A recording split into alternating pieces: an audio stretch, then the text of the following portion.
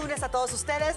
Esto es de primera mano. Mi nombre es Adis Tuñón. Gustavo Adolfo Infante se encuentra todavía de vacaciones y nuestro queridísimo Lalito Carrillo está haciéndose pues un examen de rutina. Lalito, aquí te estamos esperando, mi amor, en tu espacio bien ganado. Aquí te esperamos. Y bueno, en tanto déjenme les digo que este es un equipo completo y coqueto y triunfador porque está con nosotros, miren nada más el lujo del día de hoy. Jessica Gil Porras, más de 20 años de carrera, la podemos escuchar todos los días con Gustavo Adolfo Infante TV y también eres coordinadora del Minuto que cambió mi Así destino. es, Bienvenida, Adis. colega. Muchísimas gracias. Yo feliz de estar con ustedes, feliz de, de participar en este programa. Yo los veo todos los días desde casa, entonces imagínate el gusto que es estar aquí. Le mando un beso, por supuesto, a Lalo, que todo saldrá bien. Estamos aquí con muchísimo gusto, esperando tu regreso y, por supuesto, abrazándote hasta donde estés, querido Lalo. Y gracias, por supuesto, a toda la gente que se con nosotros, porque hay mucho que platicar, Eso mucho que todo. comentar. Decían que estaba nerviosa, yo no le creo. Ahora vámonos con Cristian Castillo. Querido Paul, dio gusto saludarles. República de Querétaro, cuéntanos, veintitantos años de carrera Sí, también. ya 22 años ya, ya, ¿Ya? pero aquí andamos contentos, muy felices y muy agradecidos. Los sueños suceden, de Ajá. verdad. Y hablando Estoy de muy sueños, miren. Quien está cumpliendo hoy, además de sueños, es años. Lucila Mariscal, hoy 18 de julio. por eso. ¡Felicidades! Que un montón porque deseémosle feliz cumpleaños a la hermosa Lucila Mariscal, quien cumple años desde otra situación tan distinta de la que estaba viviendo hace semanas, afortunadamente. Un abrazo muy querido para ti, Lucila. Queremos tu recuperación. Le Ay, mandamos sí. un abrazo, una recuperación más rápida de lo normal, además, Sí. porque se lo merece. Tu mami Yo aprovecho, eh, mi madre está cumpliendo años también ¿Eh? el día de hoy. Le mandamos un abrazo muy, muy Bueno, fuerte. pues nos Fuerte. arrancamos con esto. Nos arrancamos porque fíjense que Belinda está ganando como siempre después de un mal de amores. La cantante y actriz pues se repuso con nueva música, nueva colección de joyería, además de celebrar la diversidad. Vea todo lo que dijo. Ay, vengo de, de Madrid, muy emocionada. Llegué ayer a Guadalajara, hoy aquí. Es mi nueva colección con Toast. Es la segunda vez que tengo la oportunidad de colaborar con ellos diseñando, que aquí está. Es, se llama Santropé la colección y súper contenta de ver el video, las fotos. Muy emocionada. ropa, joyería, ¿qué más te falta? Zapatos, no sé si también tengas o... He, te- he colaborado, no he tenido mi, eh, mi, mi propia marca aún, pero me encantaría. Me encantan las colaboraciones y más con una marca tan importante como Toast. Meli, también te vimos muy exitosa en España. Sí, sí. En el beso. te dejaste ir, la pasaste muy bien. Claro, con dos mujerones, por Dios, Lola, Valentina, que son maravillosas. Cuéntanos de esas fotos donde te ves tan hermosa con una lencería nude con Como de negro. conejita. ¿Te encantan los caballos? Me encanta, pues no sé, fue, fueron en mi casa, dijimos vamos a hacer unas fotos diferentes, bonitas y así. En estos momentos, ¿cómo te encuentras en, en la parte personal, en el corazón? Muy contenta, es que no tengo, de verdad tengo tanto trabajo y es mi prioridad y me estoy concentrando en eso, es lo más importante para mí, este proyecto pues es, es una bendición porque no cualquiera tiene la oportunidad de diseñar para una marca tan importante como, como Toast y estar en, en las tiendas con mis diseños, pues imagínate, es algo que jamás imaginé. Sigues ganando como siempre, Beli, a pesar de, de pronto los momentos complicados. Yo estoy muy tranquila, muy feliz. Pero ganas como siempre todavía.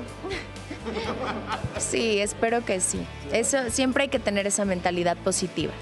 Beli, y con respecto a lo que publicaron en una revista en Vogue, eh, eh, ¿sí se salió de contexto o no? De lo de... Todo lo sacan de contexto. Oigan, yo digo algo y ya lo cambian y ponen una respuesta de otra pregunta que ya no. Lo que quieran decir está bien. Yo los quiero mucho. Sí, ya no. ¿Qué consejo le das a estas chicas pues que están pasando momentos difíciles en su corazón? ¿Cómo superarlo? Ay, que, que escojan bien. Ay, ni modo que diga que sacamos de contexto Eh, lo que está respondiendo. Ahí solita dice que escojan bien. Eh, También lo dice en la revista, ¿no? Vogue. Y cuando ella habla de que, bueno, sí, la, se puede decir en la revista la caja, así porque no podemos decir la Claro, palabra, claro. eh, dice, eh, me arrepiento de haber sacado de contexto, o vaya, de haber expuesto el tema como lo expuse. Pero sí vuelve al punto de escojan bien. Lo que sí es que hay que agradecerle que enfrentó a los medios de comunicación. Le hemos visto muchas veces, incluso en el aeropuerto, ustedes recordarán que hasta en un bote de basura la sacaron para no enfrentar a los medios de comunicación y ahora lo hizo muy bien, tranquila, ¿no? Con inteligencia, el decir, no, no voy a hablar mucho de eso, o supo lidiar muy bien con las preguntas incómodas como muchos deberían de hacer, pero ve qué diferencia el hecho de no andar correteando a Belinda. Siempre Acabas se de decir la palabra clave, ¿eh? Siempre que se tiene inteligencia se puede contestar cualquier cuestionamiento, así sea incómodo, porque los reporteros vamos a ser incómodos, siempre. Claro, los buenos sí. Ah. Yo te voy a decir algo. Belinda, como, como bien dice, se vio inteligente, atendió a medios de comunicación, Sí. bien pudo haberlos evitado y tener ahí a los medios sentados, pero la verdad, bien dicen, ganando como siempre. Muy bien por ella, muy bien por Belinda. Ahora sí me gusta cómo viene vestida porque la vez pasada, la semana pasada no apareció en Guadalajara, que por cierto es un lugar de que ha habitado durante mucho tiempo su ex, pues no apareció con un batón de este pelo con el cuerpazo que tiene. Yo decía, oígame Belinda, no, pero mira, ahorita que bien se ve, también estas joyas que trae de perlas, dicen que las perlas son lágrimas. Sí. Pero Sí, es que también sí, hay veces donde te comiste algo, te inflamaste un poquito y quieres la ropa Belinda, ¿tú suelta. Pues sí, a, a No, cualquier Belinda mujer es le puede perfecta. pasar, ¿eh? A cual- No, Belinda a es cualquier perfecta. mujer le puede pasar. Puedes estar en unos días complicados y no quieres la ropa pegada, quieres estar holgadita, que también es mucho la moda. A lo mejor le dio la colitis nerviosa. Ándale. Oye, Uy. lo que sí es que yo creo que la mejor manera de apagar incendios mediáticos es hablando. Y lo está Y haciendo. lo hizo muy bien, además. Oigan, pues mientras tanto, Cristian Nodal vuelve a estar en el ojo del huracán, en el centro de la polémica. Y es que supuestamente le prometió ayuda a una fan. ¿Y qué creen? ¿Qué? Que no cumplió. Y chequen por qué. Vamos a ver esta nota. Esta es la historia de Rosalinda Acuña y Cristian Nodal. Rosalinda Acuña, madre de dos hijas y enfermera, profesión que ejerció por más de 30 años. Sin embargo, de un momento a otro su vida dio un giro inesperado. Hace seis años le diagnosticaron un tumor en la cabeza, grado 2, lo que provocó que su hija Brenda Acuña comenzara a pedir ayuda económica para la realización de tres cirugías, cada una con valor de medio millón de pesos. Fue aquí donde existió el primer contacto con el cantante Cristian Nodal. El año pasado, a principios de año, eh, cuando la situación, la, situación de, la salud de mi mamá se empezó a agravar, pues bueno, no, me puse en acción a buscar ayuda con todos los artistas a los que yo escucho, a los que podría decirse que son mis ídolos, no sé, ¿no? Este, digo, le- les escribí a todos, a todos, a todos, a todos, a mucha gente. Eh, en, el, en el Twitter le- les escribía cuando comentaban y bueno, un día como eso a las 7 de la noche me contestó Cristian en un DM y me puso que él, se hacía cargo de todo, que, que se necesitaba. Y así empezó todo. Tal y como se muestran en las imágenes, el intérprete se puso en contacto con ellas a través de una red social. Se hizo presente, preguntó sobre el caso y aseguró se hacía cargo de todo. Yo no le manejé desde un principio como, como cuánta era la cantidad o cuántas cirugías. Yo simplemente le dije, bueno, mi mamá tiene un tumor cerebral, eh, posiblemente son tres cirugías, dependiendo que, cómo se avance, cómo, cómo vean el primer, el primer tiempo de cirugía. Y bueno, las cirugías me cuestan alrededor de medio millón de pesos. Y es cuando él dice, bueno, yo puedo darte un millón de pesos este, para mayo, me parece, que me decía.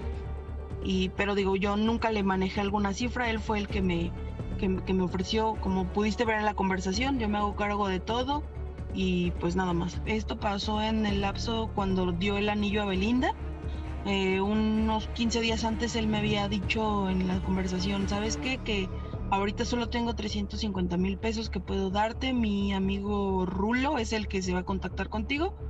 Eh, y yo le dije, sí, Cristian, yo no tengo problema. Cuando tú lo decidas, cuando tú puedas, adelante. Y fue todo. Después de eso, digo, Rulo nunca me contactó. Y enseguida de eso nos enteramos del, del anillo de Belinda. Y bueno, ya solo me decía, no, es que no estoy, es que bueno, para, para, pues para después de, de tal fecha y, y ya, de repente ya no, ya no contestó. A pesar de que su sueño aún no se logra, agradecen a Cristian por haber sido una inspiración y acercarse de una manera u otra. Yo le seguía escribiendo por, por, por mensaje directo en Twitter de, de que, bueno, mi mamá le mandaba fotos de cómo iba mi mamá, Eh, mi mamá de repente le llegaba a mandar como un video de, de muchas gracias, ¿no? Todo esto. Y, y bueno, llegó un punto en que me di cuenta que nos bloqueó. O sea, de, de la noche a la mañana. Me dio un empuje, un- una esperanza para seguir luchando, ¿no? Entonces, eh, eh, sí, la, gente puede, puede checar nuestras redes sociales. eh, todo está claro, rifas de futbolistas que me regalaron eh, playeras autografiadas, todo, todo está claro, ¿no? Y, y que la campaña sigue en pie porque ah, todavía necesitamos dos cirugías. Yo le agradezco a él que haya volteado a vernos y tampoco es exigirle. Siempre he dicho que das lo que eres y lo que tienes en el corazón. Él volteó a vernos y por alguna circunstancia no lo hizo. Y, solo de verdad le deseo muchas bendiciones y sé que él tiene luz en su corazón. Entonces, hoy por hoy quiero decirles que la vida es maravillosa. ¿Saben qué es lo padre de todo esto? Que hay claridad de las cosas de cómo fueron pasando, ¿no? Muchas veces nos quedamos como con la idea de, híjole, no, no, no cumplió, nada más abrió la boca por decir algo, por quedar bien. Y la, la verdad digo, la señora se expresa muy bien de él, tiene la necesidad la señora, ojalá, ojalá que, que la libre, ojalá que encuentre el apoyo económico. Y no, y no precisamente de Cristiano Nadal, si hay alguien más, algún empresario, otra figura pública que se quiera sumar, estaría perfecto. Pero, por ejemplo, yo recuerdo el caso de Joseph, que Claro. Lupillo Rivera estuvo justamente apoyando. Joseph que tú hiciste público Que le dimos el, también. el- el seguimiento y, y- y lamentablemente, lamentablemente el cáncer regresó en el caso de Joseph. Pero eh, se sigue buscando de alguna un apoyo. Pero Lupillo nunca, nunca terminó de tener ese contacto. A lo mejor tener el teléfono correcto de la persona que le pueda dar el, seguimiento, ¿no? Fíjense que hace un año, un poquito más, eh, yo platicaba con, con ella eh, sobre su mamá, con Brenda, y le preguntaba, bueno, ¿qué está pasando? Porque Nodal hizo una promesa y ustedes se quedaron esperando el cumplimiento de la misma, cuya, cuya intención pues no era obligación. El señor Cristian Nodal eh, actuó, respondió de manera muy generosa y pues se veía en la respuesta que tenía toda la intención de ser generoso, espléndido para con esta causa tan justa, tan necesaria. Ellas jamás quisieron hablar mal de Nodal y probablemente por eso es que han pasado tantos, tantos meses en los que ellas han, han seguido esperando esta respuesta económica después de la respuesta eh, a través de, de la red social. A mí me llama mucho la atención y lo voy a poner yo sobre la mesa. Si el señor Rulo recibió o no el dinero, si Cristian Nodal realmente contactó a través de su amigo, o sea, a su amigo, para que él las contactara, porque a Cristian lo, lo dejó. Como que se lo, se lo dejo a, a mi amigo, él se va a comunicar con ustedes, cosa que no ha pasado. Exactamente, eso es a lo que iba. Quizá no es cosa ya de, de Cristian Nodal. Quizá él en una primera instancia tuvo todo el deseo ya de, de ayudar y lo que dio fue de todo corazón. Pero también hay que decir, Cristian Nodal es una estrella, igual y no tiene el tiempo para estar haciendo estas cosas. Él le dice a Rulo, al supuesto amigo, que, que se haga Que se cargo de eso. Y quizá es Rulo el que no ha puesto atención a todo esto. Ojalá este sea un llamado, ojalá Rulo o quien lo tenga que ver que lo vea y que ojalá pueda esta mujer recibir la ayuda porque estamos viendo y por supuesto nuestra solidaridad con esa señora. Deseamos que sea una pronta recuperación y que los que se puedan sumar a esta buena causa y esta noble causa, pues lo hagamos. Con poquito a poquito se puede hacer algo grande. Todo ¿no? suma. Entonces, Estamos ojalá- de acuerdo. Exactamente. Ojalá que alguien salga y se sume a esta buena causa. En fin, bueno, cambiando radicalmente de tema, además de enviarle todo su apoyo a Paulina Rubio por el sensible fallecimiento de la primera actriz Susana Dos Amantes, pues bueno, Sasha Sokol también compartió qué ha pasado con la denuncia que interpuso contra el productor Luis N. Durante varios años compartieron, además de los escenarios, experiencias de vida. Crecieron juntas y dejaron gran parte de su infancia y juventud en el grupo musical Timbiriche. Es por eso que a Sasha Sokol y Paulina Rubio las une un cariño profundo, mismo que Sasha ha expresado tras la muerte de la señora Susana Dos Amantes. Todo mi amor, todo mi cariño, me hubiera encantado estar ahí con ella, con Enrique, con Luis. Eh, le mandé unas flores, obviamente, le mandé mensajes. Eh, ella estuvo muy presente cuando mi mamá falleció y pues son momentos duros, difíciles, dolorosos. Afortunadamente Paulina es una mujer muy fuerte y fue muy amada por Susana y creo que ella prefiere que Susana no sufra, que, que su enfermedad haya sido rápida y que, y que esté en un mejor lugar. Pero a ella y a toda su familia le mando el amor de siempre y todo, toda mi solidaridad. Y hablando de solidaridad, fue el pasado 8 de marzo cuando Sasha levantó la voz uniéndola al grito que exige alto a la violencia de género, denunciando al productor Luis de Llano por presunto abuso sexual. El caso llegó a los tribunales a través de una demanda interpuesta por la cantante, misma que ya ha sido ratificada. Hace un mes puse la demanda. No he hablado del tema porque es lo que mis abogados me recomendaron. Pero ya lo hiciste legalmente. Como Totalmente. Tenía que ser. Ya está en los tribunales desde hace un mes o un poco más. Él hace poco se, él hace poco se pronunció. No, ya está ratificado, ya está notificado, ya todo. Oye, hace poco él se pronunció y hace como que no ha pasado nada. De hecho, hasta está promoviendo una aplicación para descubrir la infidelidad. No tengo nada más que decir. Eh, no tengo nada más que decir. Muchísimas gracias. Pues la clase que la caracteriza desde siempre a Sacha Sokol, incluso hablando de temas tan delicados que comprometen su sentir. Pero miren, no apuró el paso, respondió a cada pregunta y expuso también eh, pues su solidaridad para con la mami eh, y su amiga Paulina Rubio. Y lo poco que se pueda decir ante un tema tan delicado y más cuando hay una denuncia eh, de por medio. Y aquí va este, este mensaje que siempre hemos dicho, ¿no? Que sí, hay que alzar la voz y no importa cuándo, cuando tú te sientas preparada, cuando estés lista para hablar, porque al principio se le juzgó mucho, oye, pero ¿por qué hasta ahorita, Ajá. después de tantos años, ya que, o sea, qué va a pasar ahorita si ya, ya pasó mucho tiempo? No. Se tiene que hablar cuando la víctima esté lista, cuando la víctima se sienta preparada para hablar. Y ella va a seguir, ya lo dijo, hasta las últimas consecuencias.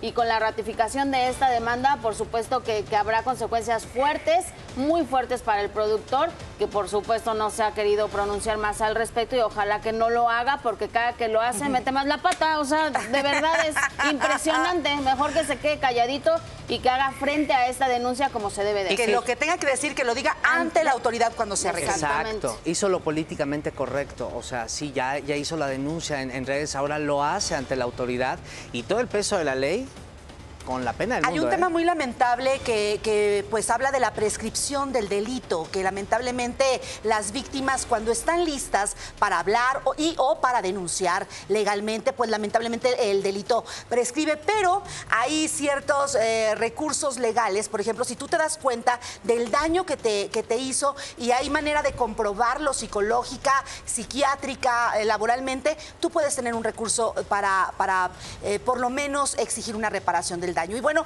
recordar que respecto a la empatía con la pérdida de la señora Susana, Dos Susana Dos Amantes, Sasha Sokol también perdió a su mami siendo muy jovencita, tenía solamente 27 años cuando su mami Magdalena pierde la vida, así, Así que es es. un dolor que ahora las une.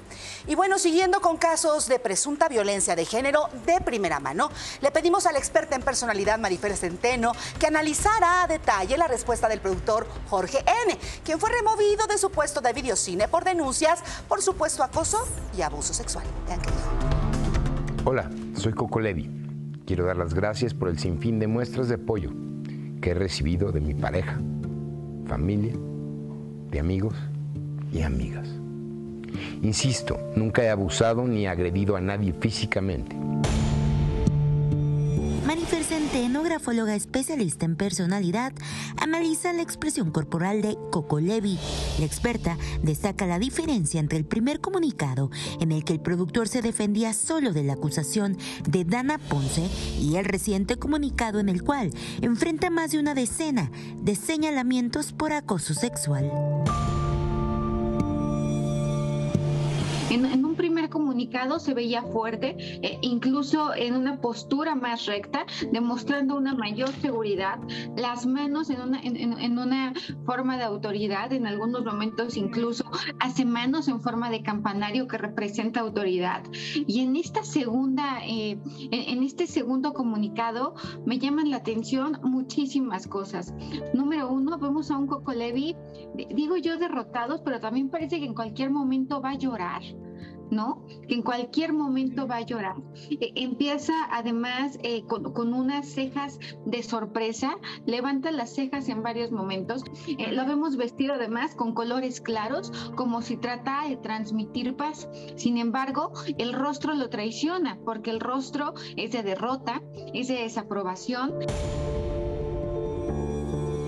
A ellas y a muchas otras les di consejos de cómo conducirse en la industria, donde la competencia es feroz.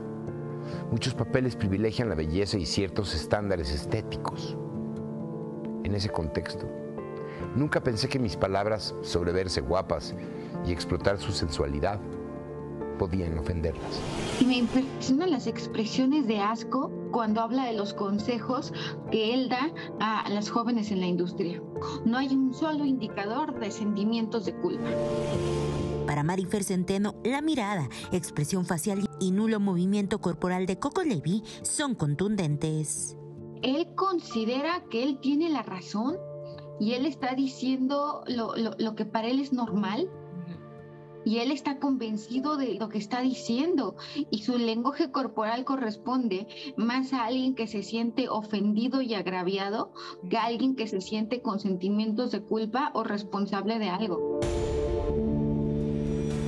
Agradecemos a Marifer Centeno por esta interpretación. Recordemos que tanto la grafología como el estudio de la microexpresión tienen eh, calidad eh, pericial válida en muchos casos judiciales. Y fíjate qué importante y qué cambio de posición y de actitud ante el primer eh, comunicado que manda él, ante el primer video, el hecho de decir que él tenía las manos limpias, que incluso amenazaba ¿no? con interponer una eh, denuncia en contra de estas jóvenes que lo estaban acusando y ahora ya más tranquilo, más relajado, ¿no? sabiendo todo lo que se le viene encima, el hecho de que puede enfrentar no solo una, dos, tres, las que se están sumando, que cada vez salen más acusaciones en contra de este señor, entonces preocupante lo que se viene para él, pero sí decir qué cambio de actitud se tiene cuando ya tienes la soga hasta acá.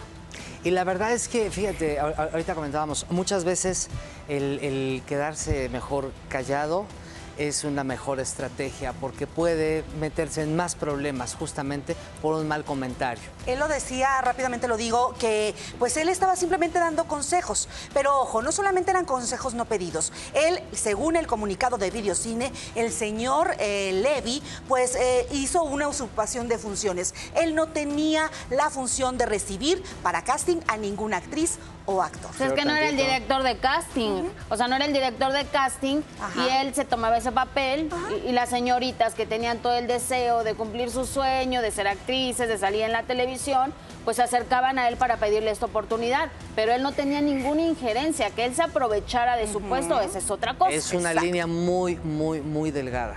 Así es, pero bueno, el director de escena, José N., habló por primera vez de la agresión cometida a su hermana, la actriz re- retirada Mónica Dosetti, un caso que también es escalofriante solo de ver las imágenes. Vamos a escuchar qué fue lo que dijo, porque yo realmente no le encuentro justificación por ningún lado. Vamos a ver.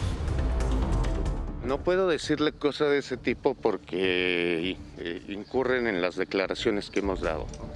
Únicamente Va- tiene restricción de 60 días, tenemos entendido. Sí, sí, no me puedo acercar a mi hermana. Me duele más que la gente que cree que la está ayudando alejándome, pues le está dando en la torre a mi hermana porque era su mejor ayuda, su economía y su sustento. Otra vez está con mi mamá que ya no puede, tiene 80 años, mi mamá parece del corazón, usa bastón, usa oxígeno.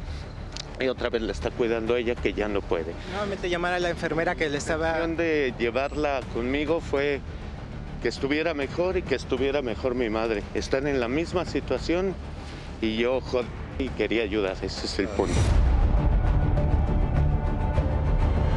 Tengo una historia que contar, pero la tengo que hacer después de comparecer a la autoridad y, y dar declaraciones y demás. Cualquier cosa que les diga a ustedes me contradice o me empata con lo dicho allá adentro. Hace cuatro meses vive conmigo, pero hace 14 años que está enferma de esclerosis y a veces le sucede, mi hermana no, no trabaja hace 14 años, le sucede una vez al año, a lo mejor le caen algunas regalías de novelas. Hizo hace tanto tiempo novelas que de verdad ya no tiene regalías y cuando le llega alguna, pues no es nada, señor. Acabo de com- componer su silla eléctrica, de que le cambié las baterías y costó 6 mil pesos. Eso se pagó de sus regalías que tenía en su cuenta. Ahorita tiene su cuenta vacía y esperábamos nuevas regalías para algo, pero en realidad todo el dinero que se necesita para mi hermana pues sale de, de entre todos mis hermanas y yo porque soy el único hombre en la casa y todas son mujeres y, y soy el menor de ellas. Y crecí entre mujeres y las respeto mucho y las, las reconozco. Y reconozco el esfuerzo de mi madre, de mis hermanas y de todo el mundo y reconozco que yo soy la persona que más podía ayudar. ¿Reconoce que tal vez fue un error esto que hizo? Es el peor día de mi vida y, y- y me pasó una vez. Yo los invito a que lean acerca de las circunstancias que vive un cuidador de enfermos, porque normalmente las situaciones se dan con gente de la tercera edad y no con gente con esclerosis. Estaba estresado. Pero tengo días muy malos en general y,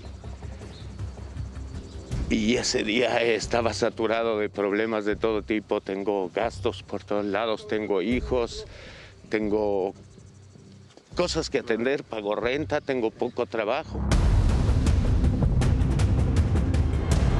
Ella ya hizo su declaración y se la tomaron en el domicilio porque no están posibilidades de venir aquí.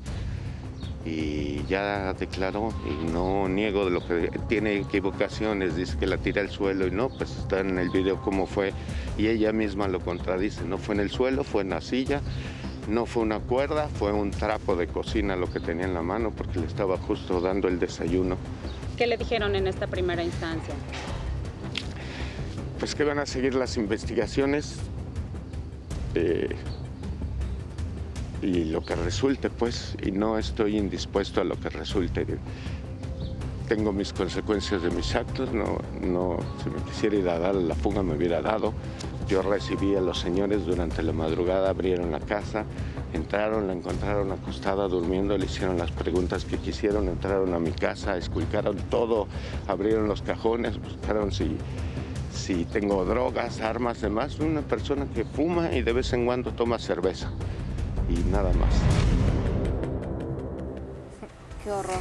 Por otro lado, José N. confirmó que buscó ayuda profesional y en un momento de desesperación llegó a pensar en terminar con todo. Escuchen. Comentaba que está tomando terapia. ¿En qué consiste esta terapia? Estoy viendo una psicóloga porque pues, la violencia no es buena, no es, no es algo que si te encuentras y te reconoces que pasaste por ahí quieras quedarte y estar. No soy una persona violenta, pueden preguntarle a la gente que me conoce. Soy enojón, soy estricto. He hecho muchas telenovelas y soy estricto, soy exigente y demás, pero no me la vivo pegándole a nadie, señor. Me rebasaron ese día los problemas, me rebasaron los insultos que a veces hacen los enfermos porque pues en su condición no en el mundo, en su condición nada les viene y Después de eso le pidió perdón. ¿O cómo fue el...? a el- las dos horas le pedí perdón y lloramos como niños, somos hermanos, nos queremos desde chiquitos, trabajamos juntos en la televisión tantas veces. Estaba hundido. No sé si me puse así por estar tomando un ansiolítico. No tengo justificación, es indefendible mi actitud en el video. ¿Pasó por su mente quitarle la vida a su hermana? No, pasa por mi mente quitármela yo todo el tiempo. Y no por esto desde antes, y por eso estoy en tratamiento, porque, porque no me va bien.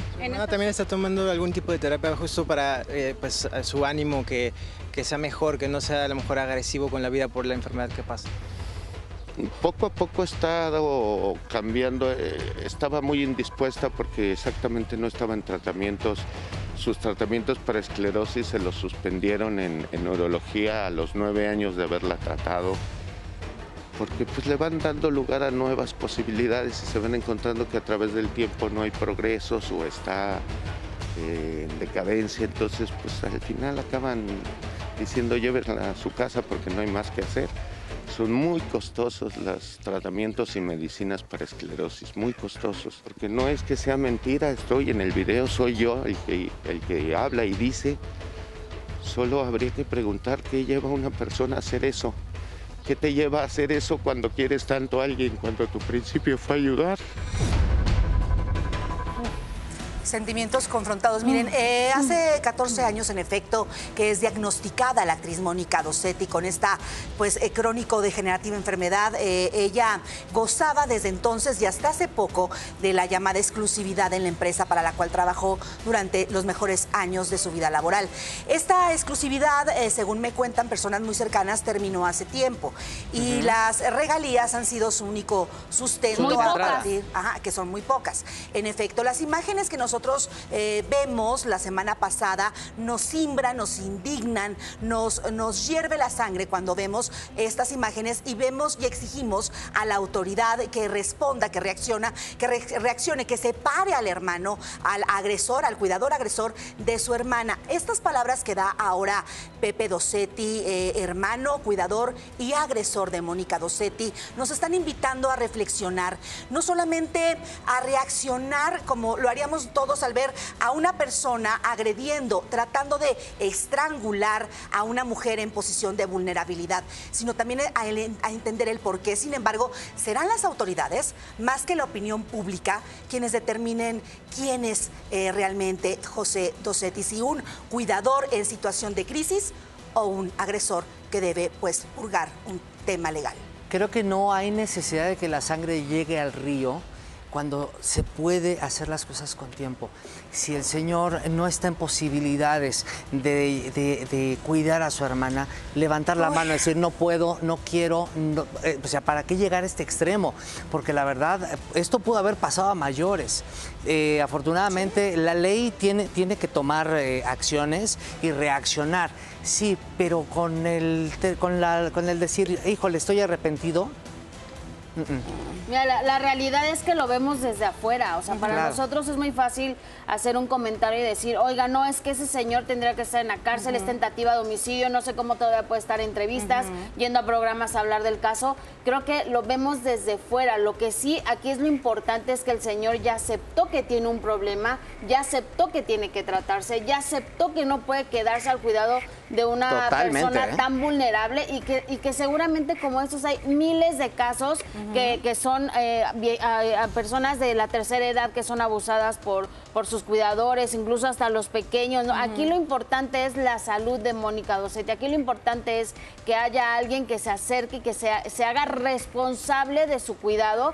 Ya sabemos Y perfectamente que que, el el apoyo para los tratamientos también. Mónica Dosetti, que recibe el apoyo para los tratamientos. claro, la no ayuda, el no apoyo, es una mujer que no puede estar sola, que necesita ayuda, pues casi para todo, ¿no? Claro. Casi para, para, para todo. Eh, Entonces, ojalá que haya alguien que se sume y que este señor sí es urgente, que necesita eh, ayuda, porque no es justificación el hecho de que es que el cuidador también se cansa, sí, perdón, pero entonces si no estás en la disposición de hacerlo, mejor no lo hagas, aunque No sea tu ofrezcas. hermana. Claro, no. es- este es un caso muy complejo que pues las autoridades tendrán que determinar y no ir solamente por lo mediático, porque esto se volvió mediático, sino que la integridad de la víctima y la situación de toda la familia pues tenga una observación, pues no solamente de momento. Y bueno, hace unos momentos, precisamente la defensa de Alexa N, eh, la maestra Olivia Rubio, el licenciado Sergio Arturo Ramírez y el licenciado Miguel Ángel López envió un comunicado con respecto al amparo interpuesto por el actor Héctor N, quien fue precisamente acusado de supuesto abuso sexual infantil. Vamos a leerlo, fíjese bien lo que dice. El juez sexto de distrito de amparo en materia penal en la Ciudad de México determinó sobreser, o sea, suspender el amparo interpuesto por la defensa de HEPG debido a que encontró fundado el incidente de objeción de falsedad de firma plasmada en la demanda promovido por la víctima. En consecuencia, esta asesoría jurídica interpondrá denuncia en contra de quien o quienes resulten responsables ante la Fiscalía General de la República por hechos que pudieran constituir el delito de falsificación de documentos y otros. Asimismo, continúa, una vez sobreseído dicho documento, esperamos que el Tribunal Superior de Justicia de la Ciudad de México determine la fecha en la que deberán de iniciar las jornadas procesales a fin de desahogar el juicio en contra del hoy acusado. Confiamos en que las autoridades seguirán realizando su trabajo con imparcialidad y profesionalismo como hasta ahora ha sucedido. Bueno, pues para entender esto, que son términos algo complicados, por lo menos para mi Muy. persona, eh, ¿qué fue lo que realmente ocurrió en vivo? Para ello saludamos a uno de los representantes legales de Alexa N. Estamos hablando de la maestra en Derecho, la abogada Olis- Olivia Rubio. Abogada, gracias por tomarnos esta entrevista para de primera mano.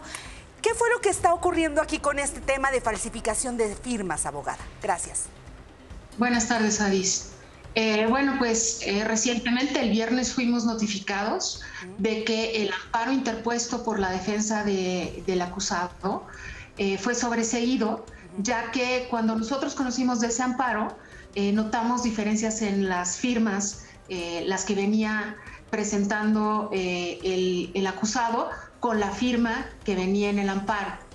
Interpusimos el incidente de falsedad de firma y bueno, después de una pericial hecha por una perito en grafoscopía que determinó que la firma era falsa, es decir, que no correspondía a la persona que supuestamente estaba interponiendo el amparo, después de esa determinación, el juez sexto de distrito eh, pues decide sobreseer el amparo, es decir, el amparo eh, se tiene como no interpuesto, es decir, nunca hay la voluntad de la persona que se decía estaba amparada para interponer este amparo y por lo tanto pues ya, ya no hay este recurso, ya se determinó y pues esperamos eh, que a partir de que regresen los tribunales de vacaciones, que esto será los primeros días de agosto, tengamos ya eh, las jornadas procesales, es decir, que inicie el juicio para determinar ya el fondo. Tengo entendido, abogada, que este amparo pues estaba evidentemente deteniendo el proceso. Este amparo está desestimado, ya no aplica y a partir de ahorita y cuando regresen, usted mismo lo dice, eh, las actividades regulares, pues tomará su, su curso normal. Correcto, dice este amparo lo que hacía era, ya se llevó a cabo la, la audiencia intermedia, sin embargo, no se había enviado el auto de apertura a juicio, en tanto este amparo estaba vigente. Al haberse sobreseído, pues entonces ya puede correr eh, la- el, el juicio y las audiencias correspondientes. Licenciada Olivia, buenas tardes. Le saluda Jessica Gil. Supongo que hay responsables. ¿Qué pasa ahora? Esto se hizo cuando estaba como encargado el licenciado José Luis Guerrero. Estoy en lo correcto. ¿Vienen consecuencias para él? ¿Qué sucede ustedes como la otra parte? Así es, Jessica. Este eh, amparo se interpuso cuando estaba la anterior defensa. Eh, son ellos quienes sabrían quién, eh, bueno, falsificó la firma. Eh, nosotros, por nuestra parte, pues nos toca interponer eh, el- lo correspondiente, que es una denuncia ante la Fiscalía General de la República, para que la misma Fiscalía, el Ministerio Público Federal, investigue quién fue quien falsificó esta firma.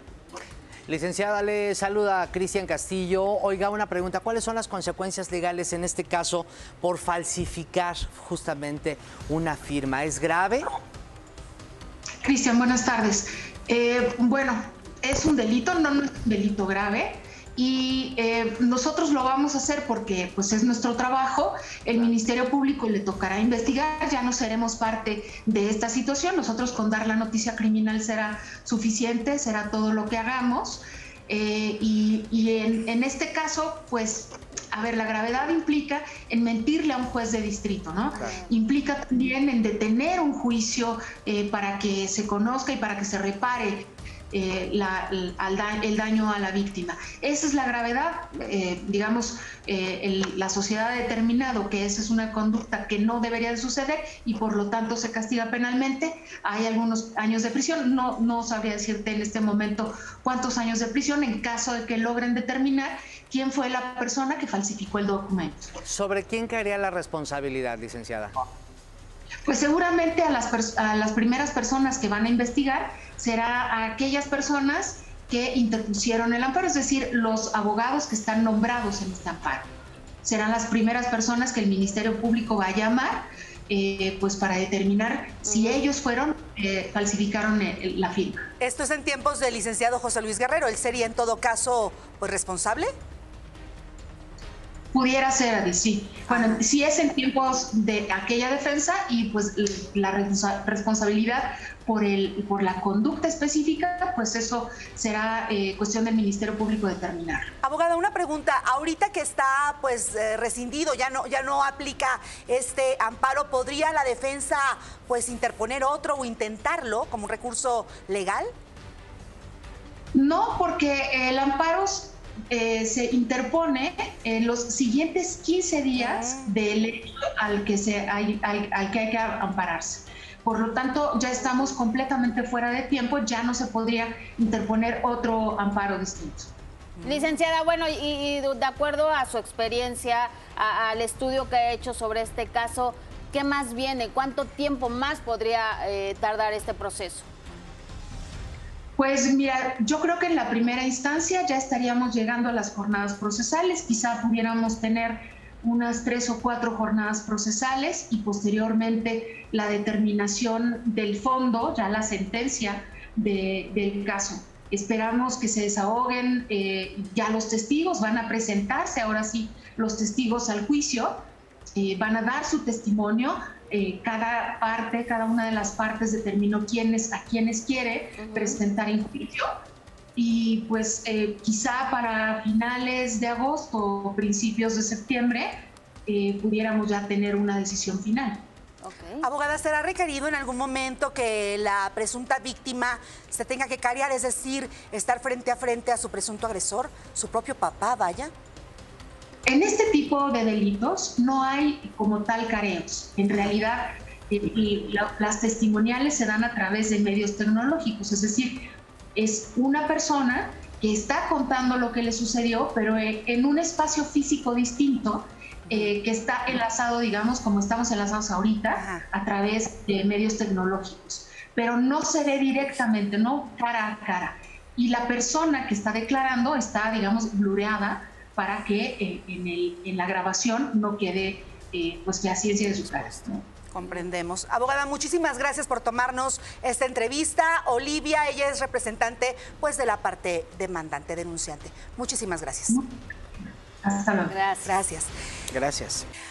A través de sus redes sociales, este fin de semana, la periodista Lola, Lolita de la Vega, compartió que vivió momentos de angustia cuando se creyó que entre el Hotel Link y el Hotel Flamingo en Las Vegas, Nevada, se estaba llevando a cabo una balacera debido a que fue testigo de cómo la gente salía corriendo, llorando despavorida y se escuchaban patrullas y ambulancias llegando al lugar. Pero ¿qué cree? Que Lola ahora sí que no fue la única que estaba presente mientras todo esto sucedía. También se encontraba en el lugar. En dicha ciudad, Mariana Echeverría y Carlos Cuevas, el cantante, estaba cenando en el Caesar Palace junto con su esposa cuando llegaron precisamente los rumores de un tiroteo y tuvieron que resguardarse de inmediato, sí, en la cocina. Y sin embargo, después de las investigaciones realizadas, la Policía Metropolitana de Las Vegas reveló lo siguiente. Los informes de un tiroteo cerca del MGM esta noche son infundados. Los informes iniciales son una puerta de vidrio rota que provocó un fuerte ruido que sobresaltó a las personas en el área de ballet. Bueno, pues qué puertota, qué ¿no? Para que ¿no? escucharan todos. Bueno, para que nos hable, pues precisamente de esta noche tan llena de angustia, de primera mano, vamos a saludar a nuestro querido ah, cantante Carlos Cuevas. Carlos, tú estabas ahí, tú y tu esposa estaban ahí. ¿Cuál es eh, tu, experiencia y cómo se sienten después de este susto tú y tu mujer?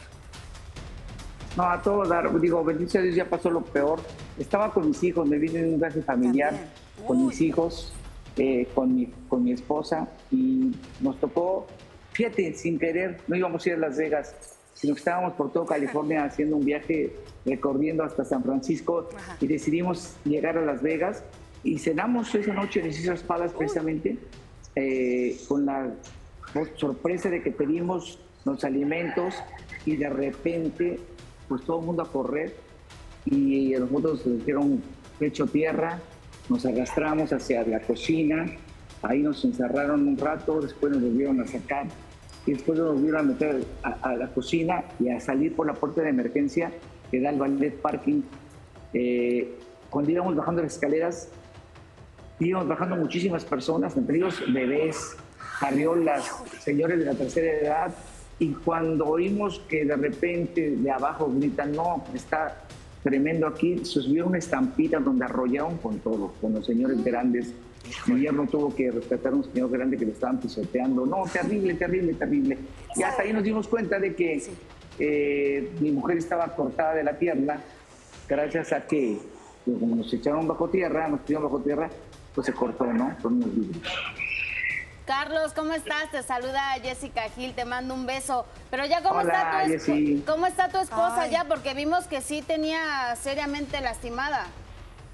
Su Sí, no, gracias a Dios Pierna. ellos mismos la atendieron, la atendieron los paramédicos del hotel, eh, se portaron muy bien todos, todos los personal del hotel, meseras, meseros. Y pues ya salió caminando de ahí, bendito sea Dios, ya nos venimos a Los Ángeles ahora, que es nuestro último día de vacaciones, lamentablemente, porque ya me la había pasado a todo dar. Y, y más con mi familia, ¿no? Con mis hijos, con, con sus parejas, con mi esposa, nos las pasamos a todo dar. Lástima de ese, de ese día, bueno, de esa noche, ¿no? Pero además esta reacción de toda la gente es, es el reflejo de lo que se vive, ¿no? Del miedo, de la incertidumbre, de que escuchas un ruidito y te, te imaginas lo peor. Imagínate una estampida por una puerta rota, es que no te lo imaginas.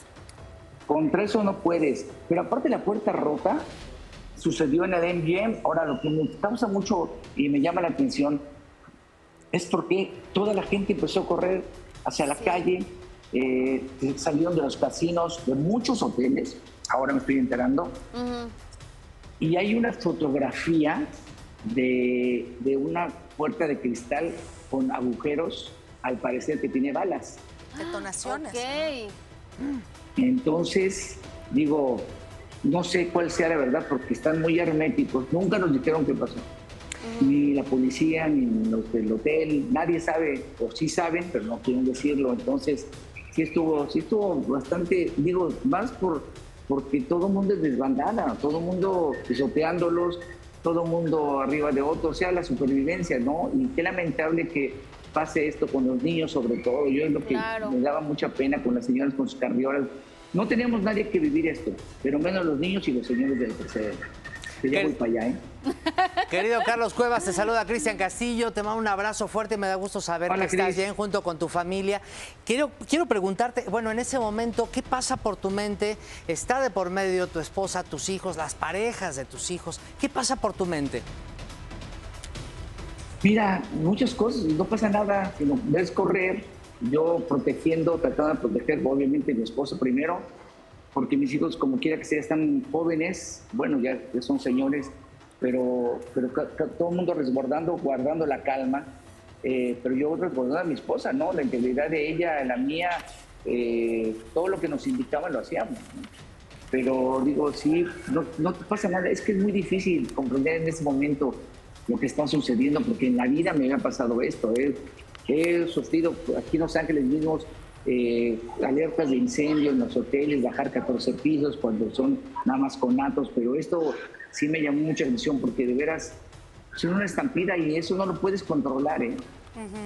Claro, eh, Carlos querido. Quien conoce Las Vegas y para quien no, es interesante, es, es importante decir que la distancia entre un hotel y otro, pues es mucha. Sí. En Las Vegas es para Parece caminarse, se dice, ¿no? Entonces, el que eh, eh, la, la señora Lolita de la Vega menciona dos hoteles que están lejos de donde tú estabas, como para que Sí, el señor. sonido de una puerta haya generado esta reacción. No, no tiene sentido. Está muy raro, está muy raro. Te digo, yo no sé si, si lo, lo hacen a propósito eh, la gente pues, de Las Vegas, los casinos, los hoteles, para que no haya pues, eh, cancelaciones, no sé, algo muy extraño. No, no se pronuncia nadie, nadie ha dicho nada, eh, más que eso que, que ahora salieron a decir, pero en ese momento nada. La policía también no sabía ni qué, ni qué, ni qué, ni qué pasaba. Ahora Había gente del ejército ahí también. O sea, ¿Para una raro, puerta? Para una puerta, querido que Carlos. yo. Carlos, no, está grueso. y respecto a lo que se dice mucho, ¿no? Que si algo te sucede en Estados Unidos, pues todo es demandable. Lo que le pasó a tu esposa. Pues dicen eso, pero mira, en este momento no puedes en eso más que resguardar tu, tu vida. Aparte, pues a quién le echas la culpa. El hotel se portó muy bien, donde estábamos estaba muy bien. Nos dieron todas las, las facilidades para correr, para decirnos si nos invitaban, me atendieron bien a mi mujer, eh, pues muchas cosas. Aparte, imagínate, si hubiera estado uno jugando, se va uno con las fichas, o, o- o imagínate que hubiéramos terminado de cenar nosotros, pues te vas con la cuenta pagada, porque pues ni modo de que a quién se la cobran, ¿no? O sea, yo, yo pienso que hay que guardar la compostura, tratar de, de- de socializarnos bien, de ser empáticos con, con nuestros Claro. semejantes y, y saber que, digo, bendito sea Dios que no pasó nada, no pasó mayores. Hasta ahorita no se ha sabido ni ninguna muerte ni nada. No pasó nada, pero no ¿qué nada. pasó, no? Qué susto.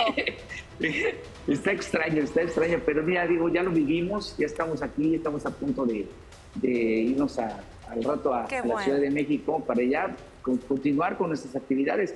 Tenemos un lindo programa, se llama Ritmo de Bohemia, que pasa por YouTube y que es pura música.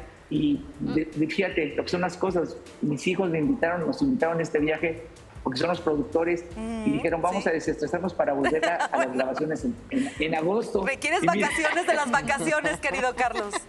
pero fíjate, te voy a decir una cosa. Veníamos, desde, empezamos en San Diego Ajá. y alquilamos una camioneta a mi hijo y nos fuimos por todo California. Fuimos a unos lugares maravillosos Qué donde bueno.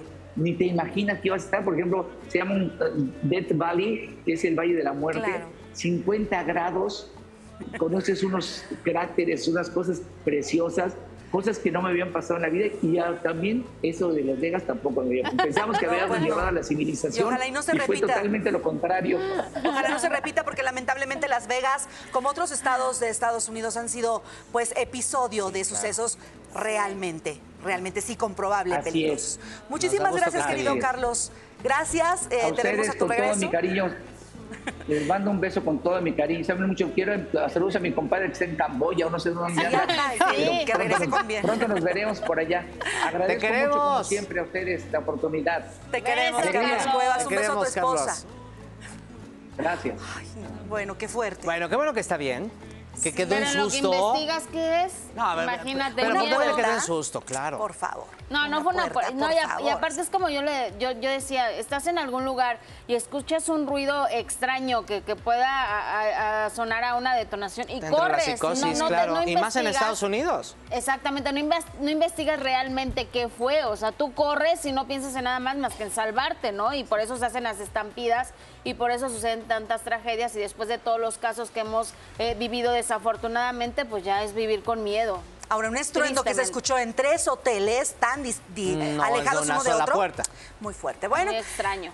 Esperemos a ver qué dicen las autoridades, a pesar, además de lo que ya dijeron. ¿no? Bueno, y a pesar de que los obstáculos que ha pasado, la actriz Irina Baeva sigue con la ilusión de llegar al altar con Gabriel Soto. ¿Cómo van esos preparativos? Vean lo que dijo. Sin fecha estipulada para llevarse a cabo su boda religiosa con Gabriel Soto, Irina Baeva va en avanzada con algunos preparativos para el enlace matrimonial. Fui a ver mis vestidos de novia, de hecho, como saben, los estamos haciendo en Nueva York.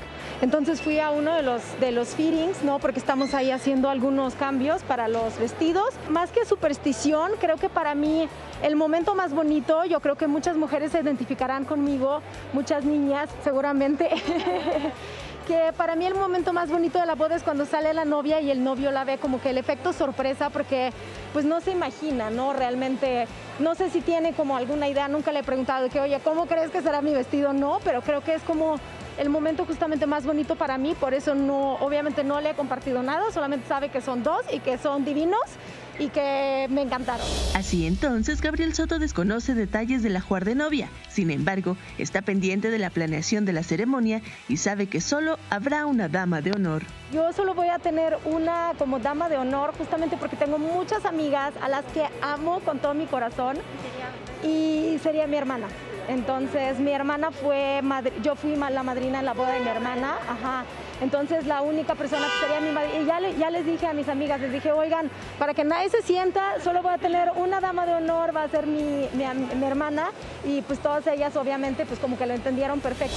El pastel de miel típico de Rusia será el postre a degustar en la fiesta, y hablando de miel, el viaje de novios parece estar predispuesto sin considerar que se van dos y podrían regresar tres. No, hombre, porque no me apresures, no me apresures.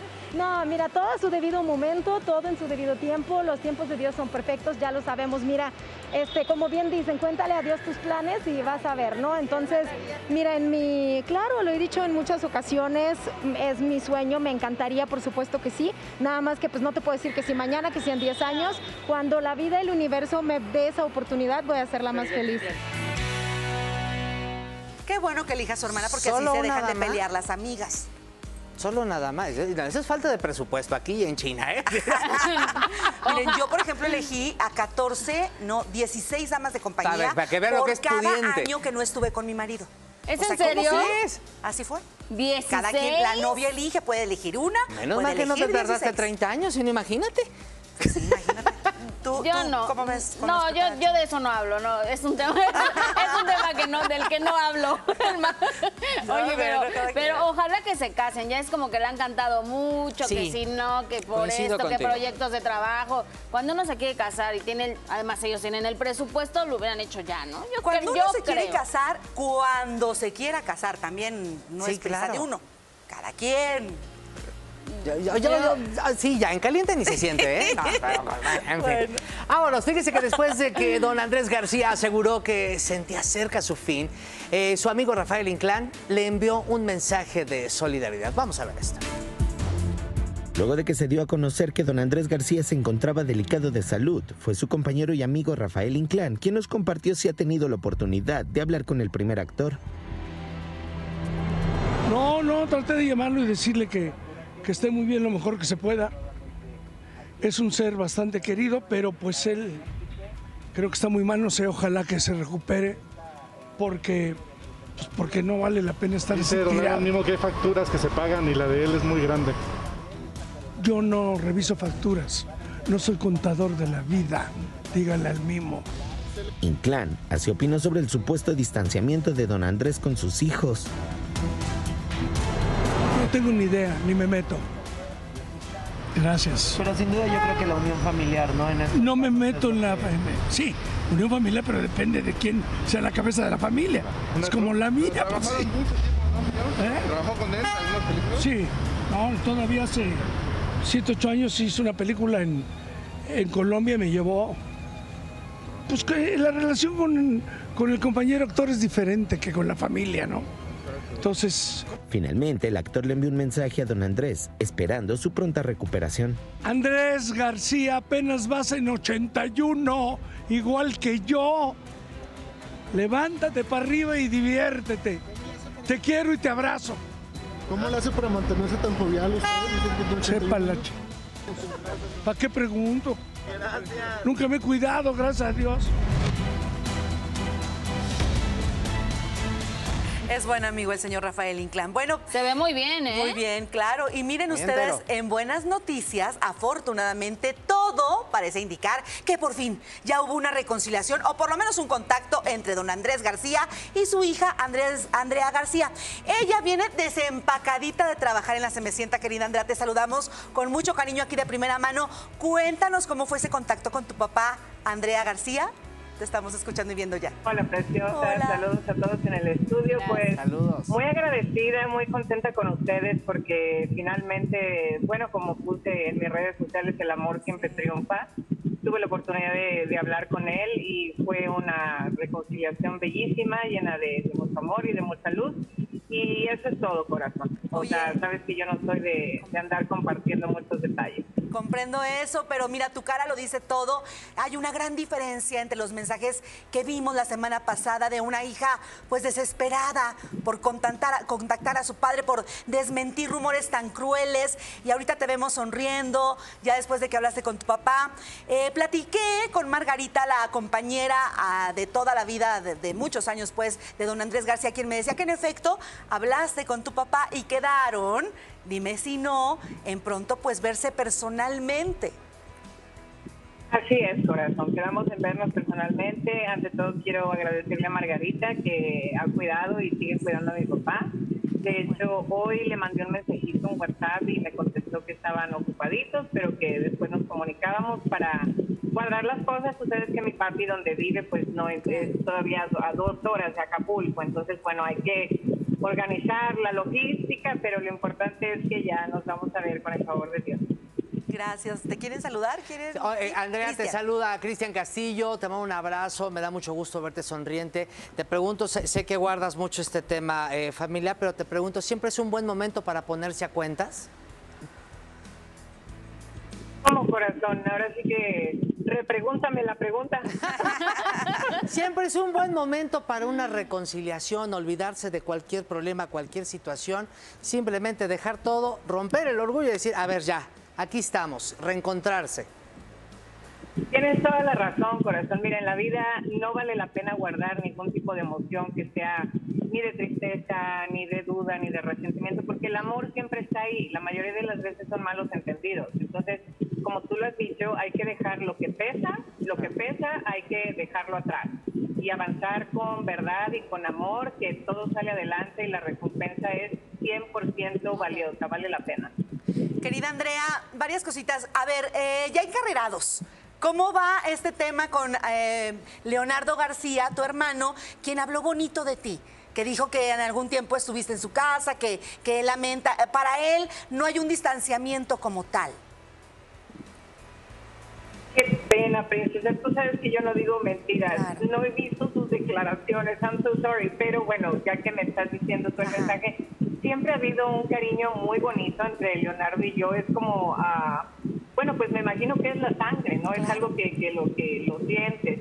Y sí, efectivamente hubo un tiempo divino, adorado mi hermano, que yo y mi hija nos estuvimos quedándonos con él como, no sé, no, no me acuerdo cuánto tiempo, fue como seis meses más o menos. Y pues obviamente me encantaría verlo, corazón sé que siempre está ocupado, trabajando y todo, pero ¿sabes qué? Le voy a hablar. Ay, me gracias, encanta eso. porque gracias a ti. Oye, nada más quiero decirles que, híjole, se van a llevar un montón de bendiciones, ustedes, los de este programa en particular, porque gracias a ustedes pude hablar con mi papá, gracias a ustedes voy a hablar con mi hermano, los amo, gracias. Gracias al amor que se tienen tú y tu papá es que dejaron. Sí. los diretes y los rumores detrás y pudieron comunicarse. Qué mejor que lo compartas y que haya buenas noticias. Gracias, Reina, gracias.